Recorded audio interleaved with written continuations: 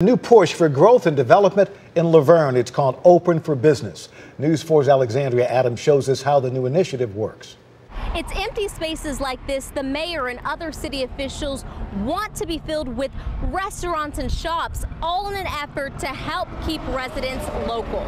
We've got the largest contiguous industrial uh, area in the state. And because of that, the mayor of La Vergne says there's been a desperate need for retail in their city. Right now, if you want to go out and get, uh, have a sit-down meal with your family, or you want to go buy a suit, want to buy uh, dress shirts, pretty much you've got to go outside of our city for that. And that's a shame. The city of La Vergne has 41,000 people residing there, and it only continues to grow.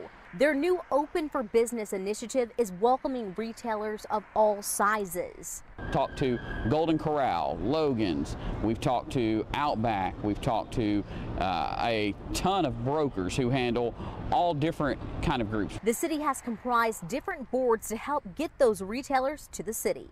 We've just implemented an industrial development board which is focused on retail and to again bring in those retail partners so that our residents can have access to those amenities. In La Vergne, Alexandria Adams, News 4.